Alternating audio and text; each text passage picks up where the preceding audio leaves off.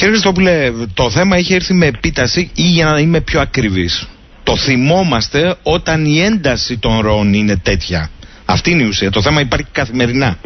σωστά το βάζετε. Ε, ποια είναι η πρώτη έτσι σκέψη για αυτό το νέο μεταναστευτικό κύμα; Καταρχήν είναι μετανάστες, είναι λαθρομετανάστες, είναι παράνομοι μετανάστες, είναι οικονομικοί μετανάστες. Τι είναι; Είναι πρόσφυγες. Είναι άνθρωποι που φεύγουν από τον τόπο τους επειδή το σπίτι τους κατά κυριολεξία καίγεται. Είναι άνθρωποι που φεύγουν με τον φόβο της απώλειας της ζωής τους. Για το λόγο αυτό αν δείτε τα πρόσωπα αυτών που έρχονται από τη Συρία αυτές τις μέρες κύριε Σαχίνη είναι πρόσωπα ανθρώπων που δεν έχουν ε, αυτό που έχουν οι υπόλοιποι έτσι, μετανάστες που έχουμε συνηθίσει, έτσι, άνθρωποι που έρχονται μέσα από τη φτώχεια και την κακομοιριά για ένα κομμάτι ψωμί.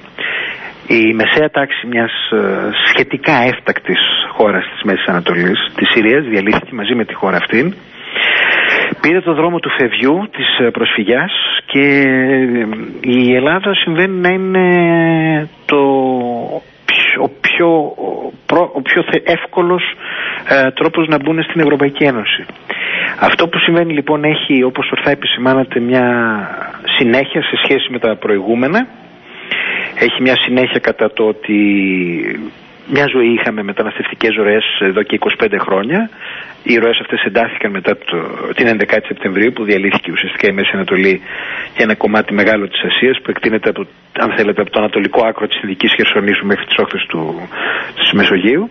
Αλλά είναι και μια τομή μέχρι σε αυτό που ξέρουμε. Είναι μια τομή κατά το ότι μια χώρα κοντά μας, μια χώρα με η απόσταση ε, μεταξύ ημών και της οποίας είναι απλώς ακόμα μία, η Τουρκία, mm-hmm.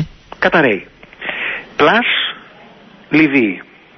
Δύο μεγάλες χώρες της περιοχής, ε, η Συρία και η Λιβύη βρίσκονται ε, σε φάση πολιτικής κατάρρευσης. Άρα λέτε ότι υπάρχει μια διαφοροποίηση ασφαλώς, ως προς την προσέγγιση που πρέπει να κάνουμε το ναι. τελευταίο διάστημα. Ε, ε, βιώνουμε την κατάρρευση πλήρως όποιων δομών σε δύο χώρες και την έξοδο ουσιαστικά πληθυσμού για να γλιτώσει τη ζωή του. Ναι, ναι, όπως το λέτε. Έχουμε να κάνουμε δηλαδή με αυτήν την έννοια έχουμε κάτι, να κάνουμε με κάτι το οποίο δεν είναι, είναι, δεν είναι αυτό που ξέραμε. Δεν είναι ο άλλος δηλαδή που παίρνει το σάκο του και αναζητεί καλύτερη τύχη για ένα κομμάτι ψωμί στην Ελλάδα ή μέσω της Ελλάδας για την Ευρώπη. Είναι κάτι το οποίο έχει ποιοτικά χαρακτηριστικά που το διακρίνουν από αυτό. Μάλιστα. Είναι Σχέδιο... ο πρόσφυγας, ο ορισμός του πρόσφυγας. Σχέδιο υπάρχει; Ή σας πιάσαν στον ύπνο, να το πω έτσι; Όχι, στον ύπνο δεν έχει πιαστεί η Ελλάδα γιατί εντάξει τόσα χρόνια ξέρουμε ότι τα πράγματα είναι έτσι. Ειδικά ως προς το θέμα της Συρίας όλες οι ενδείξεις ήδη από το 2014 ήταν ότι έχουμε με γεωμετρική αύξηση των προσφυγικών ροών από τη χώρα αυτή και ε, αυτό αντανακλάται και στα μεγέθη των ανθρώπων που ήρθαν. Το 2014 είχαμε 45.000 ανθρώπους που μπήκαν στην Ελλάδα από, την, ε, από τη Συρία. Ε, φτιάξαμε θέλω να σας πω ε, το φράχτη στον Εύρο και έτσι κομποριμονούσαν οι προηγούμενοι ότι λύσαν το πρόβλημα έτσι αλλά το μόνο που καταφέραν ήταν απλώς να αλλάξουν την, ε, την κατεύθυνση των ροών γιατί η ιστορία και οι όψοι έχουν ασχοληθεί σοβαρά με τα μεταναστευτικά το πρώτο πράγμα που ξέρουμε είναι ότι ο ένας φράχτης απλώς μετατοπίζει την, ε, την ροή δεν, δεν μπορείς να κλείσεις τη χώρα τελείως. Οπότε με την έννοια αυτή κλείνεις κάπου, ανοίγει κάπου αλλού. Αυτό έχει ως αποτέλεσμα οι, οι, οι πρόσφυγες να έρχονται πλέον σοριδών από τα νησιά. Φαντάζομαι όμως ότι δέχεστε ότι είναι ένα πολυεπίπεδο και πολυσύνθετο θέμα. Το οποίο δεν είναι ελληνικό, ασφαλώς. Προφανώς δεν είναι ελληνικό. Ε, φυσικά. Mm. Μα, εγώ δεν σας το παρουσιάζω ως καθόλου απλό θέμα και ούτε σας είπα ότι υπάρχουν ε, μαγικά ραβδιά. Ξέρετε, εγώ ούτως ή άλλως είμαι μακράν. Δεν λέω τέτοια. Ναι, ναι, ναι. Λέω ότι τα Πείτε πράγματα είναι πάρα πολύ δύσκολα. Κύριε Χριστόπουλε, χθες ε, ελήφθη μια απόφαση για χορήγηση ταξιδιωτικού εγγράφου ναι. στους Σύρους. Αυτό θα πει τώρα ο, ο, ο φοβισμένος αν θέλετε ή ο σκεπτόμενος. Ναι, ναι. Δεν λειτουργεί, θα το πω λαϊκά, ως κράκτης, ελάτε όλοι εδώ να πάρετε ταξιδιωτικό έγγραφο να φύγετε από την Ελλάδα; Ε, κοιτάξτε να δείτε, ε, σας καταλαβαίνω την ερώτησή mm. σας. Απλώς ε, από τη στιγμή που συνομολογούμε ότι οι άνθρωποι είναι πρόσφυγες υπάρχει μια fast track διαδικασία η οποία μπορούν να τους δώσουμε αυτά τα έγγραφα. Με αυτά τα έγγραφα είναι η μόνη δυνατότητα που έχουν να φύγουν από την Ελλάδα. Αν δεν πάρουν αυτά τα έγγραφα, ναι. τότε είναι σαν να τους λέμε ελάτε να μείνετε εδώ. Δεν μου λέτε κύριε Χριστόπουλε. Καταλάβατε, σας λέω δηλαδή. Σαφές, σαφές. Δεν σταθμίζεις δύο καλά και λες, Α, εμένα αυτό μου αρέσει περισσότερο. Σταθμίζεις δύο εξαιρετικά δυσάρεστες, πολύπλοκες και δυσβάστακτες καταστάσεις για την ελληνική διοικητική μηχανή που βρίσκεται στην κατάσταση που όλοι γνωρίζουμε ότι βρίσκεται. Και λες ότι τουλάχιστον για ένα κομμάτι από αυτούς, με το να πάρουν την, ε, την, την ιδιότητα του πρόσφυγα, τους δίνουν τη δυνατότητα να σκοτώσουν να φύγουν από τη χώρα. Δεν μου λέτε κύριε Χριστόπουλε, μιας και πια έχετε αναλάβει για καθήκοντα ειδικού συμβούλου στο Υπουργείο Εσωτερικών. Γιατί χθες δεν θυμηθήκατε όλοι, εγώ θέλω να σας το θυμίσω, ότι πριν δύο χρόνια mm. μεταβαίων και κλάδων, πριν 1,5 χρόνο, ο Υπουργός Εξωτερικών, ο κ. Βενιζέλος, ανακοίνωσε ένα ειδικό πρόγραμμα στήριξης των προσφύγων από τη Συρία με τις ευλογίες του ΝΑΤΟ και της Ευρωπαϊκής Ένωσης και μάλιστα είπαν ότι υπάρχει υποδομή για να υποδεχτούμε περίπου 60.000 πρόσφυγες ως Ελλάδα χρηματοδοτούμενο σε ειδικούς χώρους διαμορφωμένους και μάλιστα ένας από αυτούς ήταν και στην Κρήτη από ό,τι θυμάμαι πριν 1,5 χρόνο το ξεχάσαν όλοι αυτό, τι έγινε αυτό; Τι έγινε αυτό κύριε Σαχίνη μου; Για πείτε μου εσείς για αυτούς τους χώρους. Γιατί εγώ ήρθα από εδώ δύο μήνες και ψάχνω να βρω χώρους για να στεγαστούν 100 και 200 και δεν βρίσκουμε τίποτα. Δεν υπάρχει κάτι. Δεν υπάρχει. Όχι απλώς δεν υπάρχει. Αλλά εδώ πέρα είχαμε αναλάβει και στοιχειώδεις υποχρεώσεις. Συγγνώμη, αν μου επιτρέπετε. Ναι. Είχε ξεσηκωθεί και θόρυβος στην Κρήτη και σε άλλες περιοχές. Γιατί εδώ και όχι εκεί και γιατί αλλού. Ε, ναι. Και όλοι διαβεβαίωναν ότι εδώ υπάρχουν και χρηματοδοτήσεις, διότι είναι μια ειδική κατάσταση στη Συρία και. Κύριε Σαχίνη μου, δεν έχει γίνει τίποτα. Τίποτα. Ε, Σας βεβαιώνω ότι δεν υπάρχουν εδώ μέσα ε, ούτε στην Κρήτη, ούτε στη Θράκη, ούτε Μα το ειδικό σχέδιο που είχε το Υπουργείο Δημόσιας Τάξης και το λιμενικό για μεταφορά τους. Αυτά ανακοινώνονταν τότε. Γιατί τα έχουμε ξεχάσει λίγο, ε. ε εύχομαι και σας μιλάω έτσι με όση ειλικρίνεια διαθέτω, γενικώ και ειδικώ προς εσάς και το κοινό σας, να μην βρεθούμε σε δύο χρόνια στη δυσάρεστη θέση να συζητάμε για αυτό το σχέδιο που εκπονείται τώρα, όπως συζητάμε σήμερα για αυτό το σχέδιο που εκπονήθηκε τότε. Μάλιστα. Το σχέδιο τι άλλο προβλέπει, δεν είναι μόνο τα ταξιδιωτικά έγγραφα, έτσι, αν αντιλαμβάνομαι σωστά. δεν συζητάμε αυτό. Συζητάμε για μια ολόκληρη προσπάθεια παροχής ενός ε, δικτύου προστασίας ναι. στις περιοχές εισόδου, μια καταγραφή και ταυτοποίηση των ανθρώπων αυτών. Υπάρχουν τα ζητήματα της στέγασης, σύντηση και της δημόσιας υγείας, τα οποία είναι κρίσιμα και αυτά τα, τα βλέπουμε σε δύο επίπεδα. Το πρώτο επίπεδο είναι αυτό των, των νησιών, δηλαδή των χώρων στους οποίους αυτοί έρχονται δηλαδή αυτή τη στιγμή τα νησιά τα οποία τρώνε το περισσότερο βάρος είναι κυρίως η Λέσβος και δευτερευόντως ε, Σάμος και εδώ Δεκάνησα. Και από εκεί και ύστερα η μεταφορά των ανθρώπων, η συντεταγμένη μεταφορά των ανθρώπων αυτών στην ενδοχώρα, προκειμένου να γίνει και εδώ ένας καταμερισμός. Διότι ξέρετε, το να τους αφήσεις και να τους πεις αν πηγαίνετε τώρα, ας πούμε, κάπου, το μόνο που θα γίνει είναι να επισορευτεί ένας ακόμα μεγαλύτερος πληθυσμός των ανθρώπων στο κέντρο της Αθήνας, με ό,τι αυτό συνεπάγεται από πλευράς ε, δημιουργίας αισθήματο ανασφάλειας, ε, εύλογου ή μη εύλογου ηθικού πανικού των ανθρώπων, ε, έτσι, αναδίπλωσης της σκληρής ξενοφοβικής ατζέντας και πάλι λέγοντα. Αυτά είναι ζητήματα με τα οποία έχουν ληφθεί υπόψη, είναι ζητήματα με τα οποία καθημερινώς βρισκόμαστε απέναντι, δεν πιαστήκαμε στον ύπνο, ξέραμε πολύ καλά ότι η Συρία είναι στα πρόθυρα της κατάρρευσης και με αυτήν την έννοια ήδη η, η, σε επίπεδο επιχειρησιακό και των mm. υπηρεσιών, δηλαδή λιμενικό, ελληνική αστυνομία, στρατός, Υπουργείο Εσωτερικών, το πράγμα είχε κινητοποιηθεί εδώ και τρει-τέσσερι εβδομάδες. Ο καιρός φτιάχνει, ε, όσο ο καιρός φτιάχνει για προφανείς λόγους εντείνονται και οι ροέ και όσο καιρός θα φτιάχνει και επειδή η κατάσταση στη Συρία είναι αυτή που είναι, δεν υπάρχει αντικειμενική ελπίδα ότι θα περιοριστούν αυτές οι ροές άμεσα. Φρονείτε ότι το θέμα πρέπει να πάρει πιο διεθνή χαρακτηριστικά, ενδεχομένως και μια σύνοδο κορυφής στην Ευρωπαϊκή Ένωση πλέον. Ε, θεωρώ ότι σε κάθε περίπτωση είναι ένα ζήτημα το οποίο δεν μπορεί να το σηκώνει μόνη της ε, η Ελλάδα και η Ιταλία. Ε, θεωρώ ότι στο επίπεδο του Υπουργικού Συμβουλίου Εσωτερικών Υποθέσεων και Δικαιοσύνης υπάρχει χώρος και ανάγκη για μια, ε, μια, μια πρωτοβουλία ανάληψης ευθυνών εκ μέρους όλης της Ευρωπαϊκής Ένωσης. Το θέμα, όπως σας είπα, δεν είναι ελληνικό, δεν είναι ιταλικό, είναι ένα πανευρωπαϊκό ζήτημα και ως τέτοιο πρέπει να το αντιμετωπίζουμε. Κατ' ουσίαν είναι ένα οικουμενικό ζήτημα, απλώς εγώ θέτω τώρα την περιφερειακή διάσταση που είναι αυτή που επιχειρησιακά μας ενδιαφέρει. Η πίεση, λέτε, είναι στην Ελλάδα και στην Ιταλία και έχετε δίκιο. Αρχίζει και να είναι και στην Ισπανία, βέβαια. Ε, θέλω... ναι, έρχεται η Ισπανία, έρχεται. Μα κοιτάξτε, αυτό δεν πρόκειται να μείνει έτσι. Όλοι θα, θα πιαστούν. Απλώς αυτή τη στιγμή σας λέω ότι η Λιβύη ανεβαίνει στην Ιταλία και η Συρία έρχεται στην Ελλάδα. Αυτό είναι το σχήμα που υπάρχει γεωπολιτικά. Αυτή είναι μία όψη. Mm-hmm. Οι πρόσφυγες είναι, να το πω το πλάς, καλά το είπατε. Υπάρχει και αυτό που λέμε με τους μετανάστες.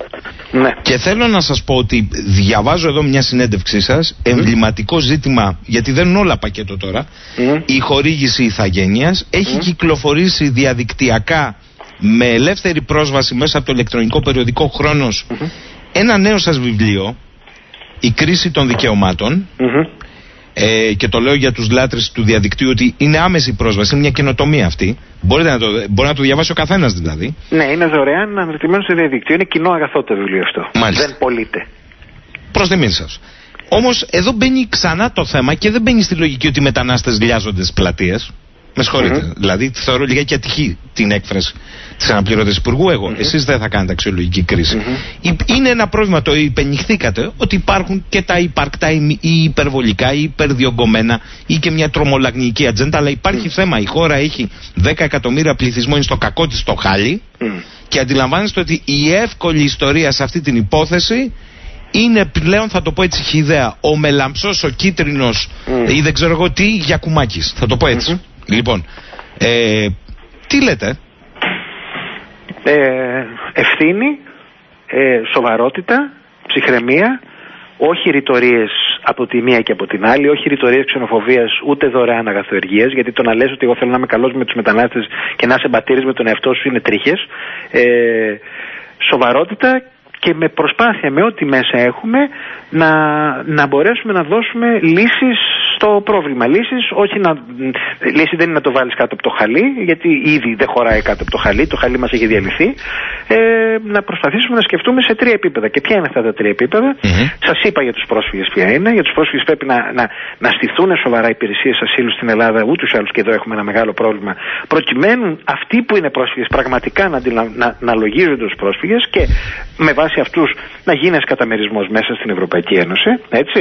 Το δεύτερο αφορά τους τους ανθρώπους που είναι εδώ παράνομα, τους μετανάστες, αυτού που δεν είναι mm-hmm. Ξέρετε, στην Ελλάδα μια από τις βασικές αποτυχίες του μεταναστευτικού καθεστώτος είναι το γεγονός ότι εξαιτίας του ότι για πολλά χρόνια στη χώρα δεν χορηγούνταν άσυλα, δεν αναγνωρίζαμε πρόσφυγες, όλοι οι μετανάστες ε, ουσιαστικά κάναν αίτηση ασύλου προκειμένου να μπορούν να έχουν έναν παροδικό τίτλο διαμονής στη χώρα. Δηλαδή, Έτσι, ακόμη λοιπόν, και αν ήρθα εγώ για δουλειά, να το πω έτσι απλά. και αν ήρθα εδώ για δουλειά, επειδή ξέρω ότι δεν υπάρχει περίπτωση νόμιμα να μπω για δουλειά εδώ, το μόνο που έχω είναι να κάνω μια αίτηση ασύλου, κάνω την αίτηση ασύλου και έτσι αυτό μου δίνει τη δυνατότητα να μπορέσω να, έτσι, να, να μείνω έστω και ένα διάστημα νόμιμα στη χώρα ή σε συνθήκες παρανομία και πάλι λέγοντας. Όλα αυτά πρέπει να τα ξεκαθαρίσουμε. Πρέπει δηλαδή να, να δούμε ποιος είναι ο καθένας, να ταυτοποιήσουμε τους ανθρώπους, να καταγράψουμε όσο γίνεται ένα κομμάτι του πληθυσμού αυτού και από εκεί ύστερα με τον πληθυσμό αυτών καταγραμμένων να γίνει μια μεγάλη διαπραγμάτευση η οποία έχει ήδη, την έχουμε ήδη δρομολογήσει υπό την έννοια ότι στο προηγούμενο Υπουργικό Συμβούλιο η Ταξιέξ του είπε ότι πρέπει να επιμεριστούμε αυτό το βάρος. Το βάρος αυτό δεν είναι δικό μας.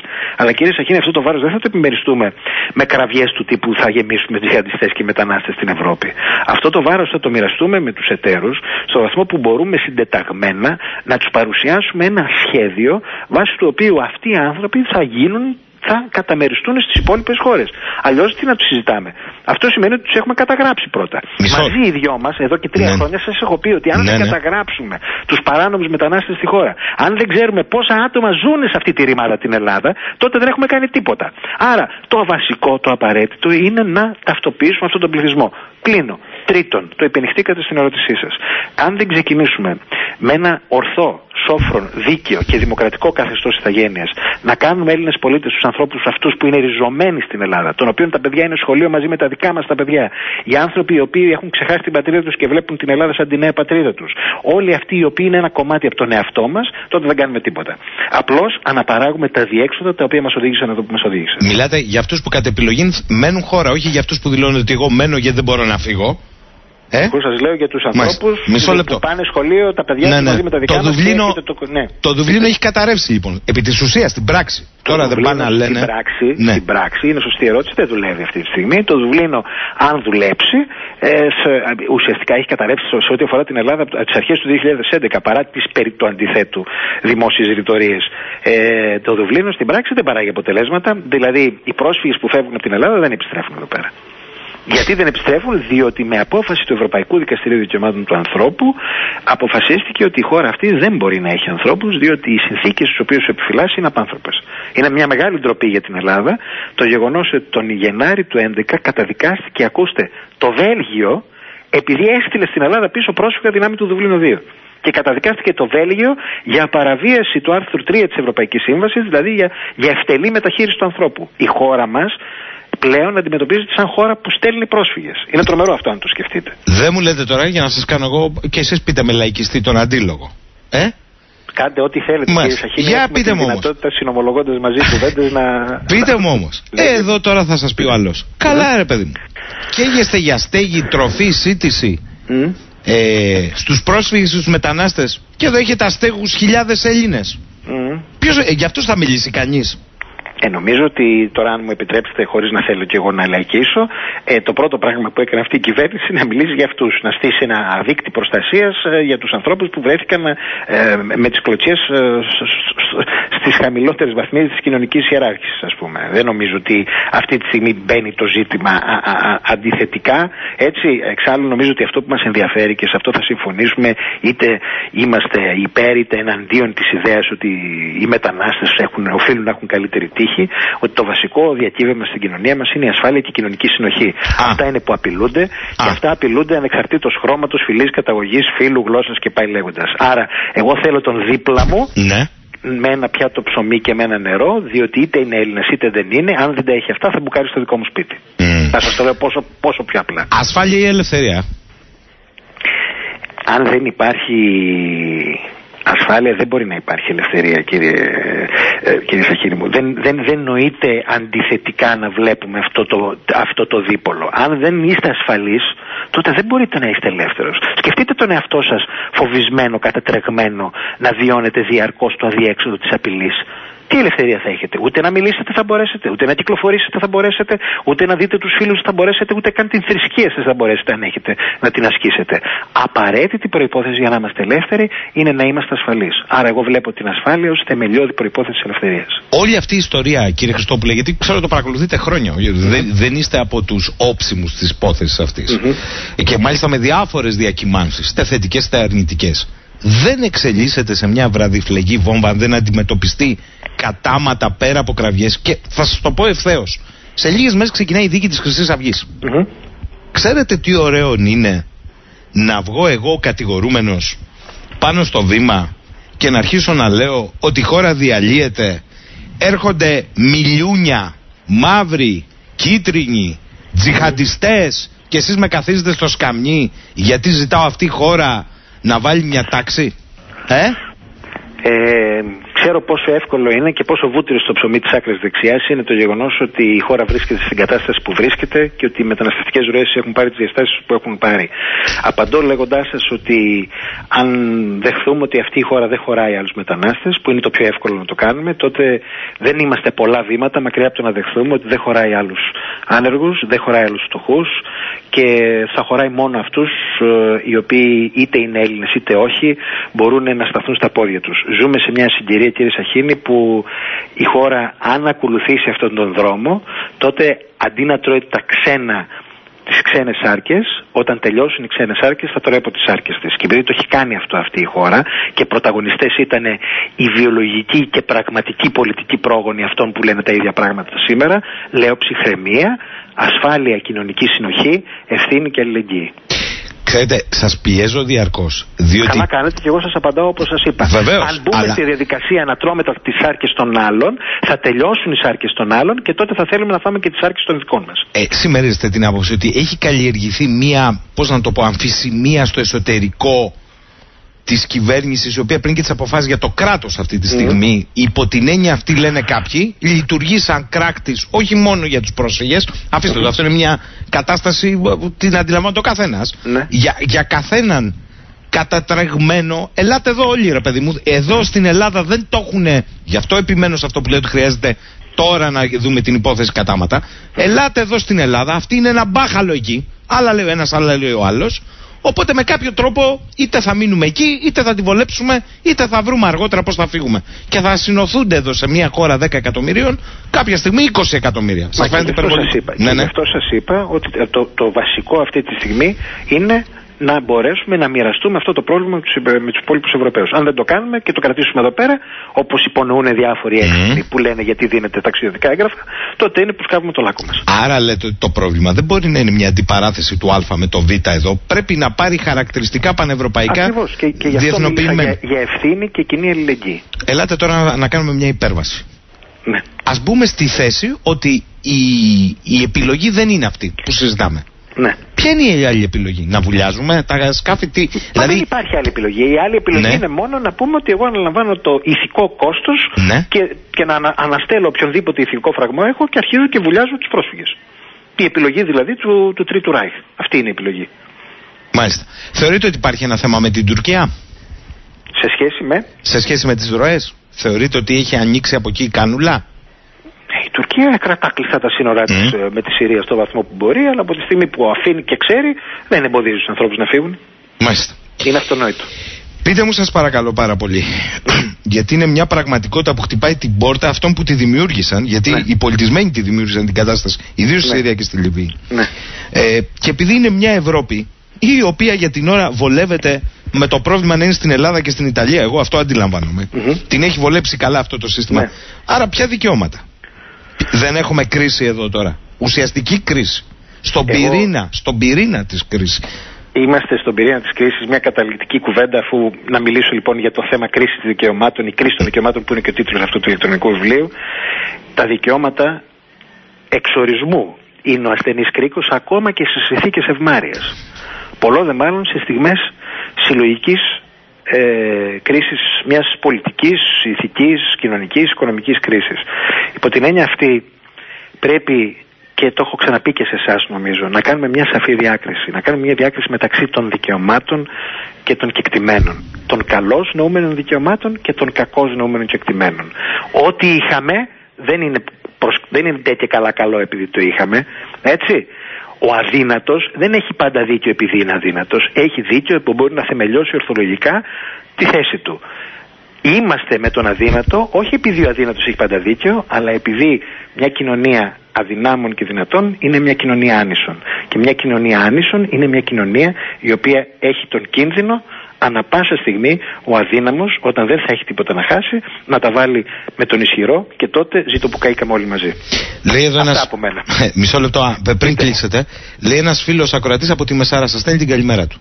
Να είναι καλά άνθρωπος. Καλά τα λέτε λέει κύριε Χριστόπουλε, αλλά λέτε στη θέση μας που αντιμετωπίζουμε τα κύματα και δεν ζούμε για παράδειγμα σε, κάποια, σε ένα μεγάλο αστικό κέντρο και σε κάποια καλή γειτονιά περιφρουρημένη ενδεχομένως. Ε, θα του πω ότι ναι. κανένα αστικό κέντρο και δει αυτό που μένω εγώ και κυρίως η Δεν, δεν είπε για εσά, δεν μιλάει για εσά. Το κατάλαβα, το ναι, ναι. κατάλαβα. Δεν είναι απαλλαγμένη από αυτήν την πολύ δυσάρεστη κατάσταση στην οποία βρίσκεται και αυτός και πολλοί συμπολίτες μας στα νησιά αυτή τη στιγμή.